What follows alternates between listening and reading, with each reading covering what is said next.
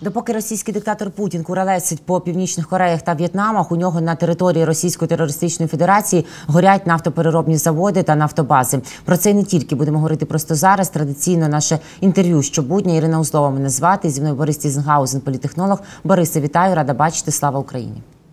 Вітаю, героям слава! Ну что ж, горят, как мы видим, нефтебаза в Российской Федерации, несколько объектов энергетического комплекса России атакованы беспилотниками. В частности, Тамбовская область, Тамбовский, Тамбовский волк, уже россиянам товарищ разве, началась, начался пожар на Платоновской нефтебазе. Оперативные службы выехали на место, пострадав, пострадавших нет, информирует телеграм-канал «База» в частности. В результате взрыва загорелся резервуар. По данным губернатора Тамбовской области Максима Егорова, в Первомайском муниципальном округе округе было найдено и как будто бы уничтожено остатки беспилотника, они разорвались о воздухе, говорит губернатор.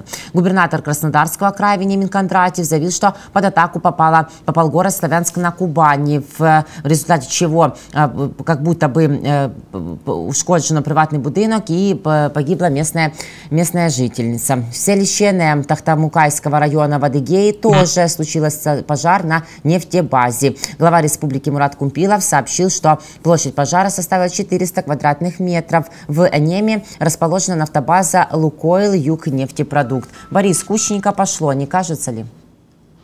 Да, отлично. Пошло, полетело. То есть, ну, есть, есть как бы, понятно, абсолютные плюсы. То есть удары по российским нефтебазам, но есть там не, небольшие минусы, то есть по НПЗ не летит, а по нефтебазам бьем. Ну, возможно, есть в этом логика определенная, то есть мы лишаем россиян фактически ну, топлива, а у них сейчас там и посевная, и война, все вместе. Но это, это неприятно.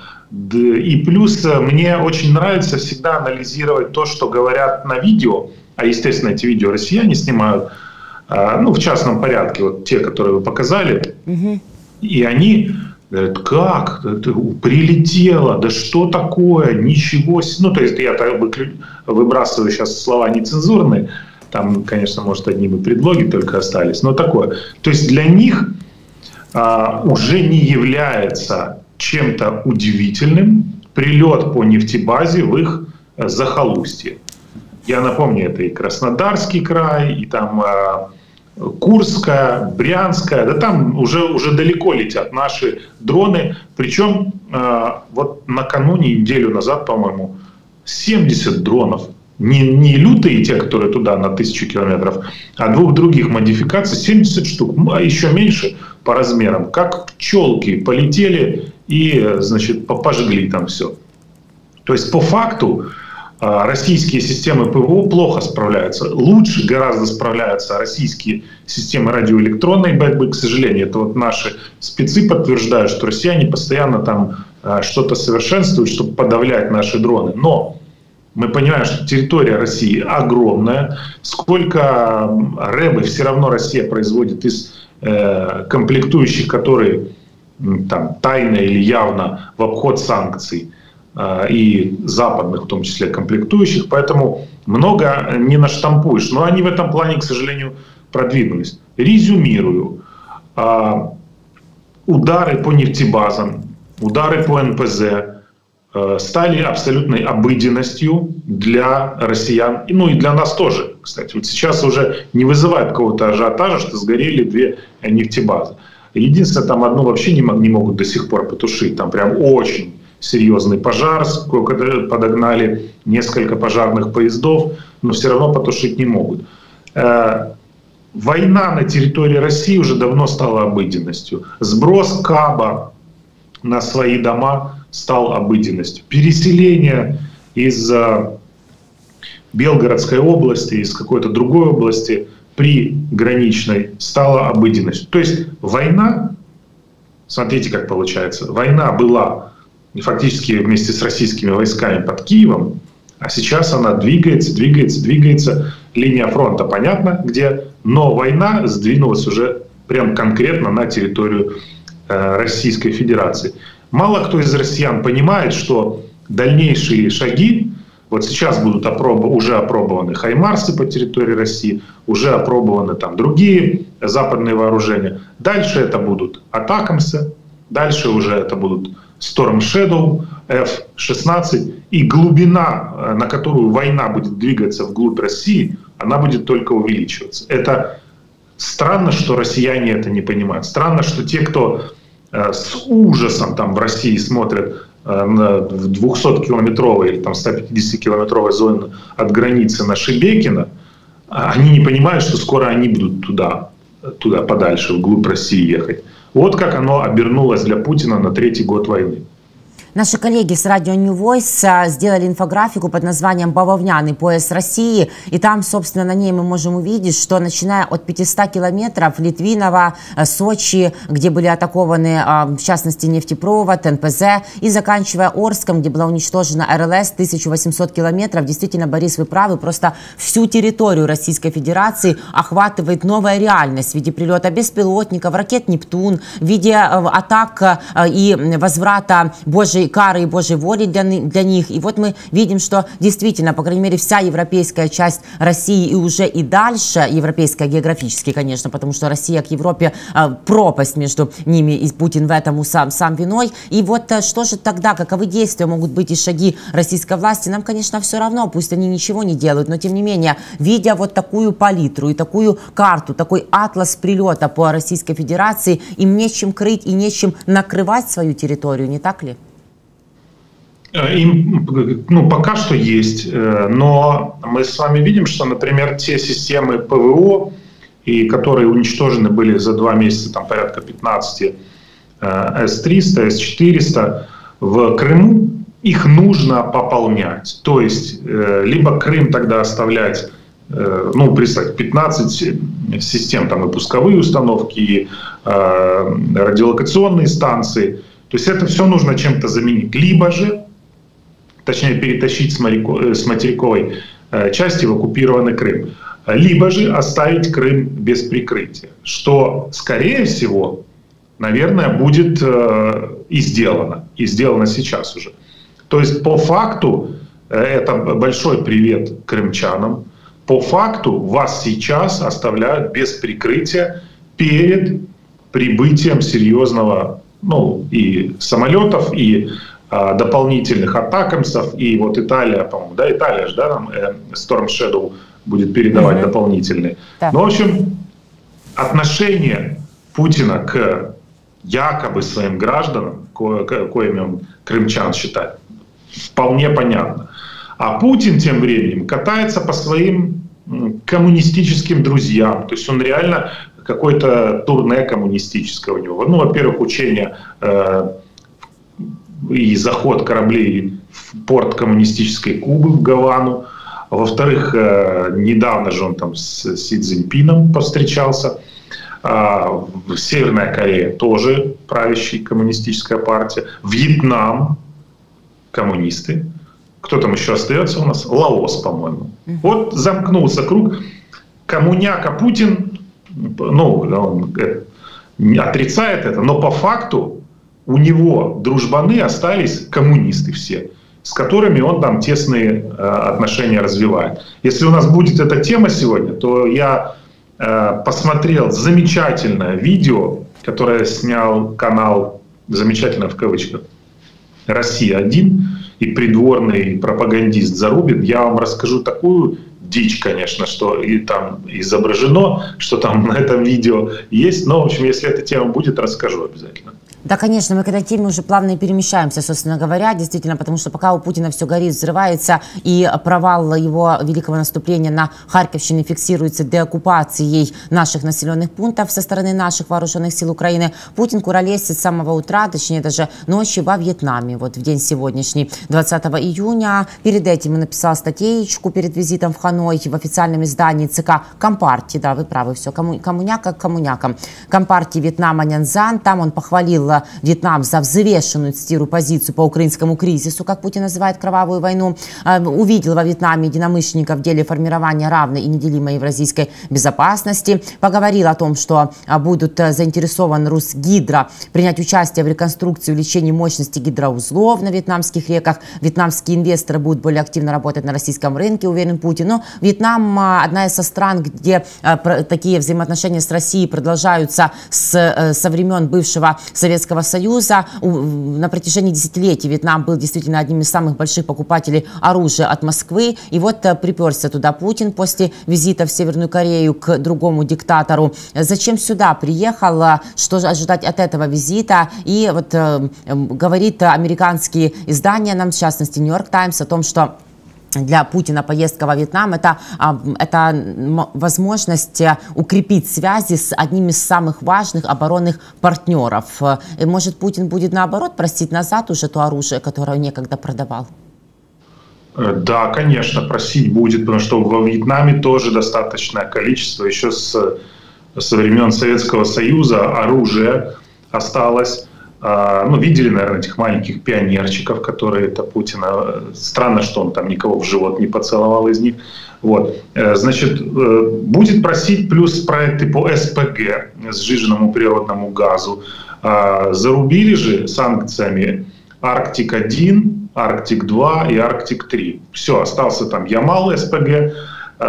Поэтому Путину нужны новые рынки сбыта. Там «Газпром» улетает вообще в минусовой космос какой-то с доходами, это понятно. Европе большой привет, которая больше стала российского газа покупать. Ну а я все-таки расскажу вам. Кстати, важно же э, сказать, что обязательно подпишитесь на этот канал, если вы нас смотрите. 7 миллионов это не шутки, двигается канал к 8. И на канал Тизенгаузена, то есть меня, тоже обязательно подпишитесь. Вот здесь синими буквами под этим видео написано Тизенгаузен. Прямо вот пальчиком нажимаете на синие буквы, всплывает окошко и подписывайтесь. Будет сегодня э, очень э, занимательная программа анализа коммунистического турне Путина. А я вкратце расскажу нюансы. Значит, я отсмотрел пропагандистскую, пропагандистский ролик – этого Зарубина, который вечно с Путиным. Он, ему, кстати, нацепили красную повязку вот сюда на руку, ну, чтобы отличать, там, кому можно бегать, кому нельзя. Так вот, началось все с того, я, я просто уже давно не помню а, такого, такого кринжа. То есть, когда Путин спускается, значит, как Россия один освещает, там в темноте стоит Ким Чен Ын, он такой кругленький, стал очень сильно, и ждет Путина на красной дорожке. На него наезжает камера, и звучит фраза «посмотрите, какой взгляд». И вот я, я не шучу, прям реально, посмотри, и, и он стоит вот так. И это, это я уже давно такого не видел. Дальше Ким Чен Ын постоянно, э, ну я думаю, что унижал Путина. Он его постоянно переставлял к себе справа. Прям говорит, иди сюда, вот тут. Э, дальше Путин решил проявить характер, наверное, когда его к машине подвели и сказал, я хочу сесть тут, я люблю ездить тут. На что Ким Чен Ын посмеялся и сказал, я поеду там, где я езжу всегда. То есть вот эти все моменты, а, дословно цитирую, цитирую, Ирина, дословно, едет машина, кстати, э, на Мерседесе катались там на контрабандном. Uh-huh, Ким Чен Ын с Путиным. Э, но э, до этого дойдем. Есть машина с Путиным и Ким Чен Ыном, и российский пропагандист дословно цитирую, говорит, смотрите, весь Пхеньян сияет, каждое окно горит. Такое распоряжение поступило от местных властей каждому жителю Пхеньяна. Ну, то есть, это, это что вообще? Ты, если ты какой-то западный агент, Скажи, что все счастливы, так оно все сияет, потому что Ким Чен Ын, все счастливые, все зажгли свет. Но не потому, что власти заставили северокорейцев. Но и это еще не все. Это еще не самый кринж. Там дальше, на площади Ким Ир Сена, на следующий день, когда встречали Путина, его решили порадовать музыкой. И там играла э, песня я другой такой страны не знаю, где так вольно дышит человек. Вот эта песня советская. это, это не прикол. Путин и с Ким Чен Ыном идут по площади имени деда, э, ну, Ким Ир Сена, и играют «Я другой такой страны не знаю». Это они про Северную Корею или про Россию? Я так и не понял. Но и это еще не все. Там, значит, э, военный оркестр дирижировался дирижером. И э, пропагандист, он как какой-то гаденыш себя, как агент Госдепа вел. Он говорит, обратите внимание, какой неожиданный дирижер, какой э, оригинальный. Он стоит спиной к оркестру и вот перед собой машет палкой. Естественно, оркестр не видит, что он там делает, но играет. Говорит, смотрите, как оригинально. Он стоит спиной к оркестру и лицом к Путину, Ким Чен Ыну. А, узнал он это или не знал, что нельзя, запрещено там под страхом вообще к великому Ким Чен Ыну поворачиваться спиной его челяди, я думаю, что не знал. Именно поэтому развернули э, абсолютно никчемного дирижера, потому что оркестр у него вот там сзади. И он машет вот так перед собой палочкой, а те что-то играют. Ну, то есть он просто э, сознательно или несознательно подсветил какие-то такие дикие моменты, которые вообще не нужно было. Э, а это знаменитое видео, когда российские министры зашли в зал э, для конференции. Пришел чиновник северокорейский, сказал, пошли вон все отсюда. Они говорят, ну зачем же вы нас... Это все в трансляции было. Они говорят, зачем же вы нас тогда позвали? Они говорят, потому что выходите все, сначала зайдет наш правитель первым. Это же классика вообще э, какой-то вот Оруэлловская. Ну и там в конце еще по мелочи я еще в своей программе сегодня расскажу, там много всего, у нас тут немножко ограничено. То есть по факту, когда они дальше пошли возлагать цветы к памятнику там, э, Второй мировой, ну, у них он там иначе называется, Ким Чен Ын вообще, он, он сказал Путину, вот так рукой показал, иди. Путин пошел ленточки целовать, а Ким Чен Ын стоял на месте. Просто он даже не пошел этого делать. То есть вот вам весь визит и все отношение э, к Путину. А Путин ему, да, и там про подарки же еще чудесное есть. Путин ему за 400 тысяч аурус второй подарил. Да, а, шо, а, а жартуют, э, Борис, что? шутят наши зрители, что первый просто подаренный в феврале уже сломался, ушел на запчасти, поэтому пришлось повторить. Да, ну, ушел, не ушел, но э, оцените, так сказать, красоту игры. А в ответ э, российская сторона не стала публиковать, что подарили в в ответ Путину. Ну, они там сухо обозначили, что тоже Путин получил хорошие подарки с изображением его же Путина, в том числе и бюсты. Да-да. То это есть бюсты, это прекрасно. Со- говорят... собрал этих своих пионеров и сказал, значит, так там, э, мне нужно изображение Путина, давайте мне, значит, э, выжигайте на доске его, на трудах, бюст склепаете и какой-то там э, девочки там на этих пяльцах, да, вы вышиваете крестиком. Мы ему вместо ауруса вернем подарки такие ценные. Ну, то есть это такое просто... Э, мне кажется, что Путин сам, будучи не совсем адекватным, был в шоке от этого визита. Я, ну и ничего, сейчас его еще Вьетнам там ждет, сейчас он, он прочувствует на себе всю прелесть коммунистических режимов. Хотя я думаю, что он э, опыт приехал перенимать все-таки какой-то. Сейчас об опыте спросим, но тем не менее, Борис, вот сегодня появились а, кадры прощания Пухляша и диктатора российского, и так вот они прям обнимаются, и там э, улыбаемся и машем была картина, когда стояла Ким Чен Ын и его окружение, и пока Путин поднимался вот по этому трапам, усланным радянскими, э, советскими красными коврами, значит, поднимался, все стояли, провожали его и махали ручкой. Карсон обещал, э, улетел, но обещал вернуться, так сказать, картина просто маслом. Видно, как те бюсты, изображения Путина близ, близкие к оригиналу, да, как они говорят, хотя не факт, что это оригинал прилетал, собственно говоря, в Северную Корею. А может, все-таки это радостное а, помахивание, они свидетельствуют о том, что э, Ким Чен Ын тоже получил то, что хотел? Да, он счастлив, он нажухал Путина и свое старье, снаряды, которые у него там лежат, впарил ему за какие-то космические деньги. Россия готова, ну или там обмен, Россия готова платить сейчас тройную, четверную десятерную цену, потому что никто им больше не продаст оружие. Конечно, он счастлив, этот Ким Чен Ин, которому в прошлый раз он на бронепоезде приезжал, ему там, он думает, так я буду почаще к Путину, раз поездочка Аурус, Но тут я думаю, что я понимаю, почему он не ездит на Аурусе, потому что, скорее всего, добрый друг и товарищ Путин, как было написано на этом баннере там в аэропорту, напичкал все эти аурусы прослушкой или чем-то там еще. Я думаю, что это в его репертуаре КГБшном будет. Но, конечно, Ким Чен Ын счастлив.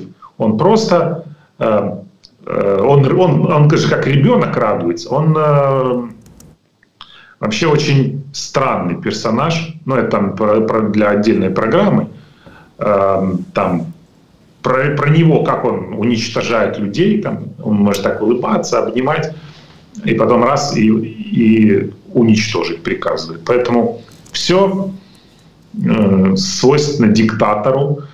И, но Путин, мне кажется, даже Путин был в шоке от, от, от такой встречи, от такого приема, как его там загоняли за синий лес просто. Что получит Путин во Вьетнаме? Какой опыт приехал перенимать? Ну, получит э, то, все то же самое. Приехал за оружием, сейчас будет рассказывать, что вообще странно, что Путин не провозгласил там какой-то, э, ну, у него же там коммунизм не запрещен. То есть он же теперь в основном дружбанится либо с коммунистами, либо с э, религиозными фанатиками. Вот у него две категории. Там Иран, Талибан, э, ну и, и, соответственно, все страны, где правящие коммунистические партии. Плюс э, те, кто в сателлитном положении находится, определенные там страны, часть стран э, Африки. Ну, в общем, получается так, что пояс изгоев и тиранов сформирован. А вот в таком же поясе э, представителей адекватных государств, которые хотят мира, демократии, нет единства, нет согласия. Поэтому и в этом огромный плюс диктаторского клуба, что они могут быть какие угодно отбиты, там кто-то может э, каннибалом быть, кто-то может уничтожать, вешать тысячи людей, кто-то вообще там какой-то, э, ну еще что-то творить. Но они все понимают, они все должны друг друга держаться. Иначе им всем придет крышка, потому что на них объявил охоту цивилизованный мир. Но судя по всему, не сильно объявил охоту. То есть почему-то есть э, общепризнанные диктаторы, такие как, например, Ким Чен Ын, а есть э, такие, как Путин, которые убили, уничтожили э, гораздо больше людей, хотя, не знаю, ну, если не брать там собственное население, сколько Ким Чен Ын, он, он Путину и в подметке не годится. Но этот почему-то с этим можно разговаривать, можно у него там что-то покупать, а с тем нет. Вот загадка, да? Загадка э, непростая. А, Борис, э, ну можем ли мы утверждать и говорить, что, как пишет Институт изучения войны, как говорит генсек НАТО Йенс Столтенберг, э, как Скобеева в своих пропагандистских репортажах Северной Корее, чему она очень радуется и утешает ее, что водку подают там в мини-барах или огорчает, не знаю, как-то неоднозначно выложил эту фотографию, говорит, что антинато фактически сейчас Путин хочет сформировать альянс анти-НАТО. Я бы сказал, что не Путин хочет, а скорее всего хочет э, Китай. Угу. Ну а Путин тут шуршит, потому что, ну, он тоже хочет. Для него это вопрос выживания. А, да, так они не только антинато, то есть вот они, у них есть БРИКС, у них есть ШОС, у них есть там э, другие, у Путина вообще есть там СНГ, ОДКБ, еще там что-то. То есть они фактически формируют, поляризируют мир, и у них это удается неплохо. Но еще раз подчеркну, что инструменты-то эффективные есть, и вот они появляются уже сейчас э, почему-то, спустя три года после полномасштабного вторжения. Например, всем известно, что чтобы хлопнуть этот э, теневой флот Путина, да, чтобы уменьшить значительно доходы его от нефти, которую он морем продает, достаточно просто закрыть для российских танкеров серых этих проливы.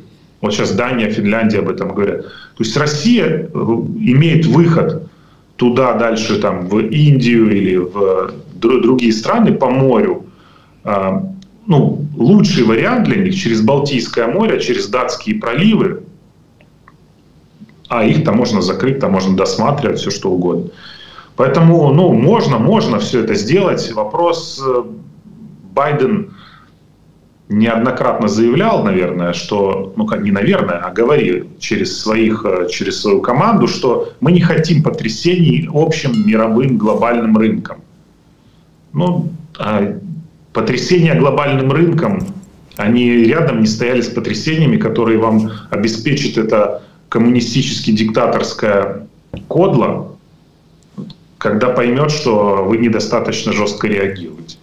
Поэтому как всегда, приходим мы к той теме, что есть э, на чаше весов либо жестко додушить Путина и показать всему остальному диктаторскому клубу, что вы только дернетесь, и с вами будет то же самое. Либо, ну понятно, ядерное государство, кто же там это будет делать в своем уме, Путин ударит, не ударит. Он не ударит, уже это понятно.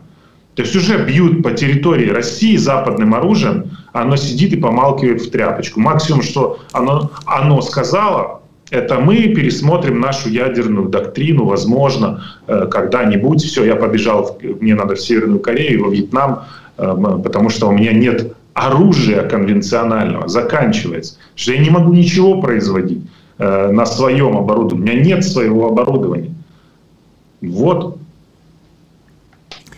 Борис, спасибо большое за сегодняшний разговор, спасибо большое за ваш анализ. Мы продолжим все эти темы, конечно же, потому что они в развитии а, уже в нашей встрече завтра и не только. Благодарю вас, до новых встреч. Борис Тизенгаузен, политтехнолог, Кирина Узлова была вместе с ним. Друзья, спасибо большое, что вы нас смотрите. Подписывайтесь, пожалуйста, на YouTube Бориса Тизенгаузен большими синими буквами. Можно найти ссылку активную в описании под этим видео. Также на YouTube 24-го, нас уже больше 7 миллионов. Спасибо большое, что вы с нами. На YouTube Захитнету тоже заходите, там тоже интересно. Это тоже наш канал. Будем благодарны и рады видеть вас и там. Берегите себя, верьте в вооруженные силы Украины. Увидимся и победим.